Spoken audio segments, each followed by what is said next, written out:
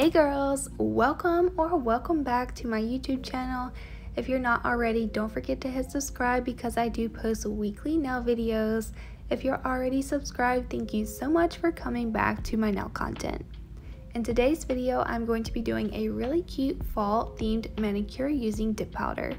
I have already prepped my natural nails, applied some Gelly tips which I have cut down the length of, and now I'm all ready to apply my dip powder nails. The main items I'm going to be using for this manicure are the dip powder colors 455 which is pretzel bark, the dip powder color 23 which is called nude, the dip powder color number 20 which is beige pink, the color 1388 and this is hemlock ochre, and the color DD576 which is Vine ivory. To apply the dip powder to my nails, I'm going to be using the dip base which is number 2 and I'll be using the activator which is number 3. As I said, I have already prepped my nails how I want for my manicure.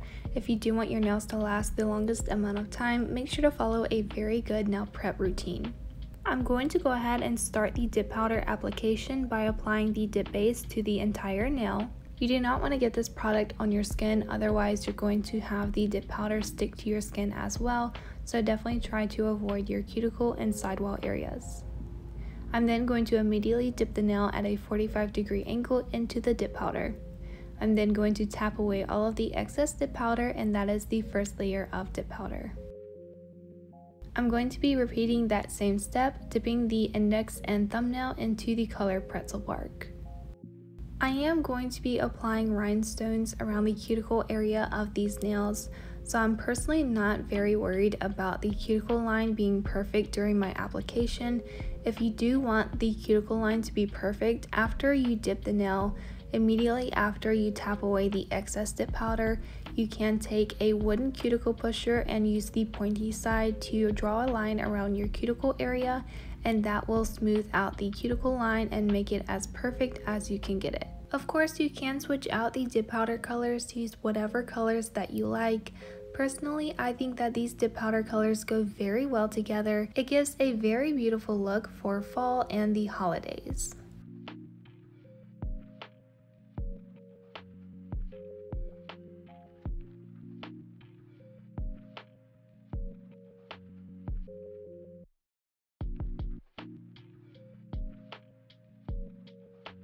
Once all of the nails have been dipped, I'm then going to take the Mermaid Tail Fluffy Nail Brush. This one is absolutely beautiful. I'm going to be using this to dust away all of the excess dip powder from those three nails. You do want to make sure to do this step very well to prevent contaminating your dip base. It can also cause the brush to harden up and you definitely do not want that to happen, so make sure to dust your nails very well. I'm then going to be doing a second layer of dip powder on those three nails. You can do as many or as few dip powder layers as you like. Personally, I would recommend to do at least two layers of dip powder. I did not do more than two layers because the Gelly tips do have a lot of strength to them and I don't want the nails to be too bulky, so I only did two layers of dip powder color. I did forget to mention, but everything I will be using is linked down below in the description, so if you are interested to purchase any of these items, I will link it down below along with my discount code.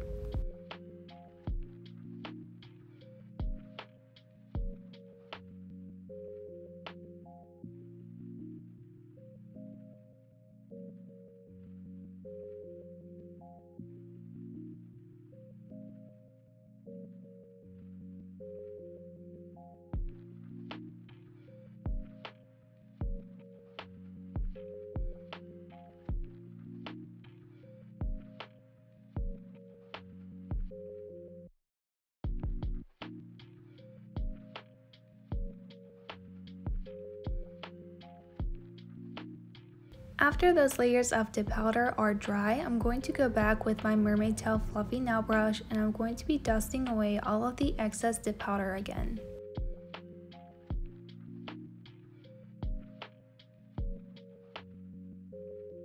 After I've done this step, I'm going to go ahead and move on to the next nail.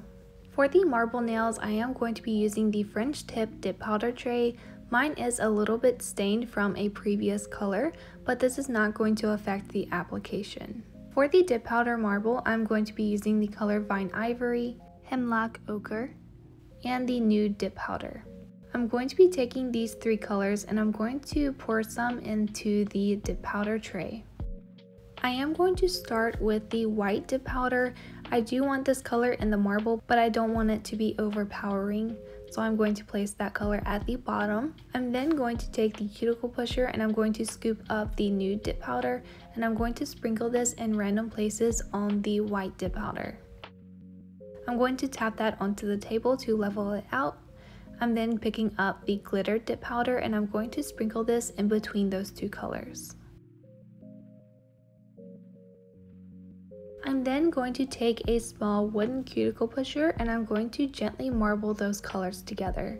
When doing this step, you do not want to over marble and you also do not want to push those top colors down into the dip powder. You do want everything to stay level on the surface of the dip powder.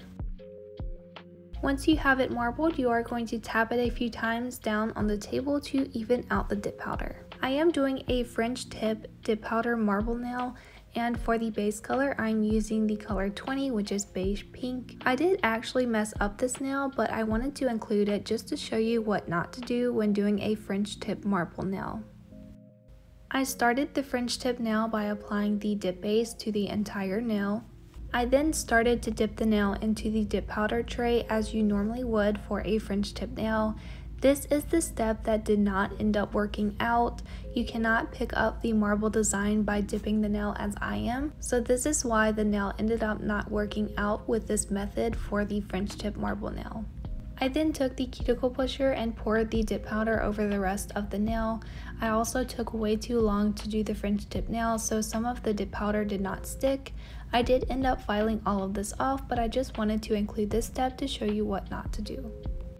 I did decide to go ahead and move on to the middle fingernail, so I'm going back with the French tip tray and I'm going to be adding a little bit more of the nude dip powder color.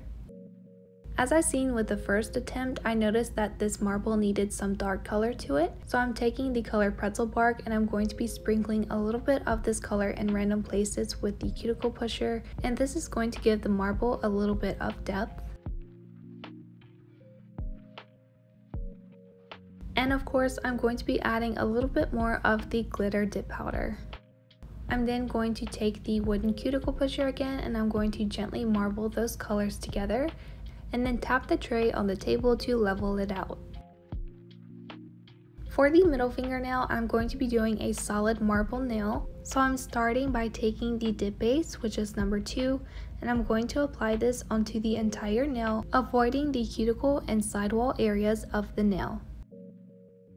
I'm going to turn the nail upside down and push it face down directly into the dip powder marble. You do want to make sure to cover all areas of the nail when you push it into the powder. Tap away the excess and here's what the nail looks like. After that layer is dry, I'm going to dust away all of the excess dip powder.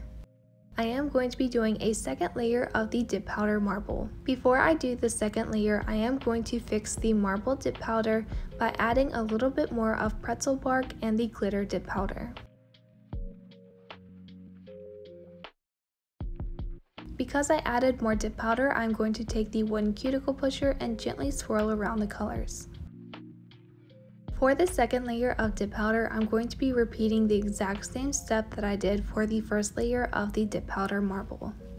I have seen people recommend to do a solid layer of light colored dip powder or white and then do the layer of dip powder marble.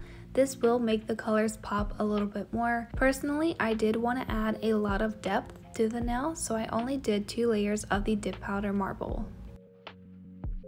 For the ring fingernail, which is the French tip marble nail design, the best way that I could think to apply this to the nail is going to be to do a reverse French tip nail. If you are familiar with acrylic application, you will know the method that I'm using for this French tip nail. I am only applying the dip base to where I want the base color of the nail this is going to be creating my smile line. Right after applying the dip base, I'm going to dip this into the beige pink. I'm going to tap away the excess dip powder and then I'm going to brush away the excess dip powder and I'm going to be repeating this two more times. When doing the second and third layer of dip powder, I am only applying the dip powder to the same area that I've previously done. Doing this is going to build up that area of color and allow me to have something to file to get the smile line like I want.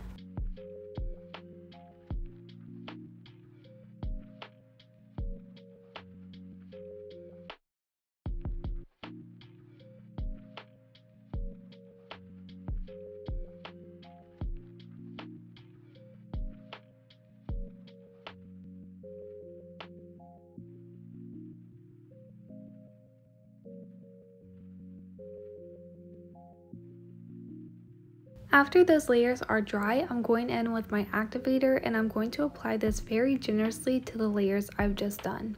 This is going to harden those layers and allow me to file it into shape. I'm then going to take this small hand file from the 12 piece manicure buffer kit and I'm going to be filing the smile line into shape. By looking from the side, you can see that the dip powder layer is slanted. You do not want this when applying the French tip color. You do want the base of the nail to have a really sharp ledge. This is going to give you a really clean French tip nail. So I'm just taking the hand file and I'm placing this at the smile line of the nail and I'm just going to be filing this into the perfect shape. I really love a deep French tip nail, which just means that the smile line of the French tip nail is very curvy. Some people do like their French tips a little bit straighter than this. This is completely up to you and you can do it how you like. To shape my French tip nails, I like to think of shaping a short almond nail and I think this gives me the perfect smile line for the French tip that I'm going for.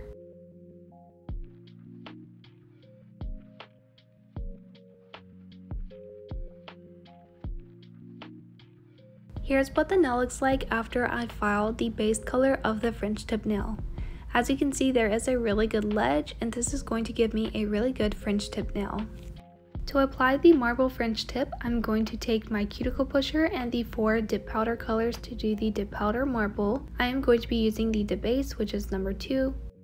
I'm going to take the base and I'm going to apply this to only the tip of the French tip nail. I did get a little bit of this on my skin, but I just quickly wiped it away before I poured the dip powder over top of the nail. I then took the cuticle pusher and I'm going to pick up different colors of the dip powder and I'm going to sprinkle this over top of the wet base. I am going to be repeating this using the other three dip powder colors. I will be very honest and tell you that this did not work for me. No! God! Please, no! No! I have seen other people be able to marble their dip powder colors like this, but when I tried it, it just did not work for me. So for the second layer of dip powder marble for this nail, I did the same method that I did for the middle fingernail and it turned out really good. Here I have the French tip tray ready and I'm going to be doing the same step so I'm only applying the dip base to the tip area of the French tip nail. I did again get some of this on my skin so I'm just going to wipe it away before I dip the nail. I am going to be dipping the tip of the nail as I did the other marble nail. And here's how the French tip looks. I do really love how this French tip ended up looking. I think this is absolutely gorgeous. I can't wait to do this with more dip powder colors. I did decide to do one more layer on the tip of the nail just to make sure that it evens out with the base color of the French tip nail.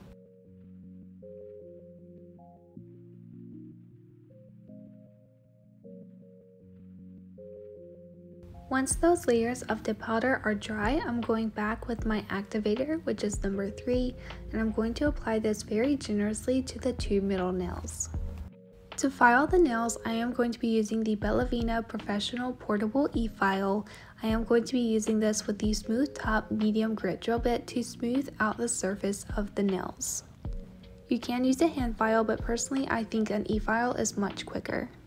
I am trying a new method of using the e-file, so for the speed I am using 15,000 RPMs. This is rather high for me. I typically use a really low speed when filing with an e-file, but I wanted to try something new and I do think this method is really nice.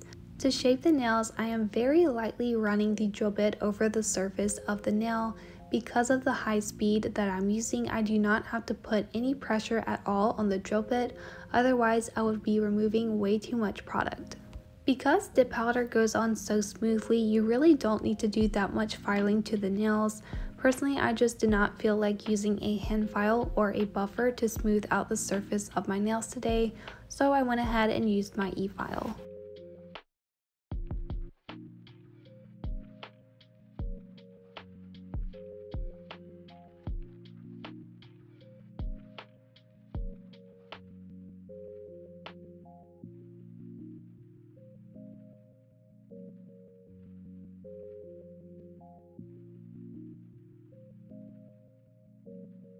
Here's what the nails look like after they've all been filed and shaped.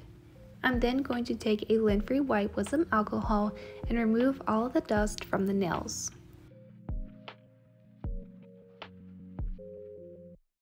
For the middle fingernail, I am going to be doing some foil, so I'm going to take the base coat gel from one of the polygel kits. I'm also going to be using some gold leaf foil and the tweezers from the polygel kit. I'm going to start by applying a layer of the base coat gel to the entire nail. I'm going to take the tweezers and pick up a big chunk of the gold foil and I'm going to be placing this at the cuticle area of the nail. I'm going to pick up a second big chunk of the gold foil and I'm going to place this at the free edge of the nail diagonally across from the other piece.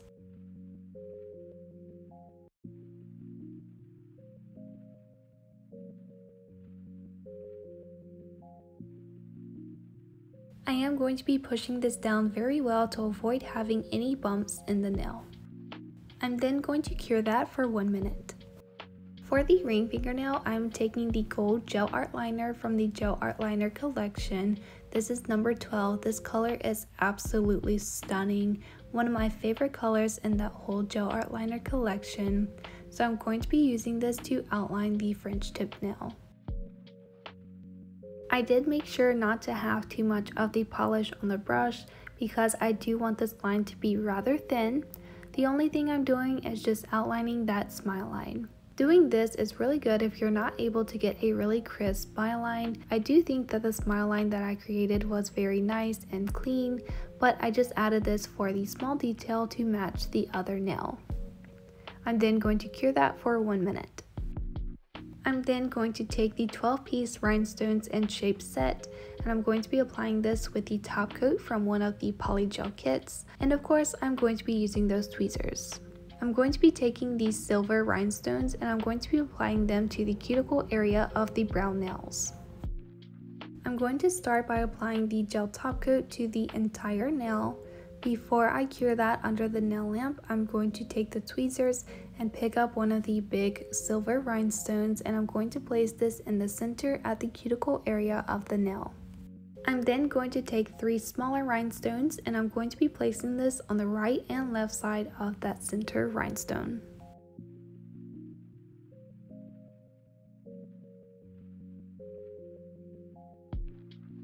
I'm also going to be taking the smallest gold caviar beads and I'm going to be placing these in between the rhinestones. Also placed these on the other side of the nail as well and I repeated that same rhinestone placement to the pinky and thumbnail. I did cure those nails for one minute. I'm now going to go ahead and apply the gel top coat to the middle two nails. I do like to finish off my dip powder manicures with a gel top coat. If you don't like gel, you can use the dip top coats that are included in the dip liquid kit. I personally just love the look and finish that gel gives, so this is why I'm using gel to finish off my manicures. After the top coat has been applied, I am going to cure that for one minute. After all of the nails are cured, I'm going to take the cuticle oil, which is number 6, and I'm going to be applying this to all of the cuticles. It is really important to rehydrate your skin after every single manicure. And here are the nails. I think the set came out so cute. I love them. Let me know what you think down below in the comments. Make sure to give this video a big thumbs up. If you're not already, don't forget to hit subscribe. And I'll see you guys in the next video. Bye!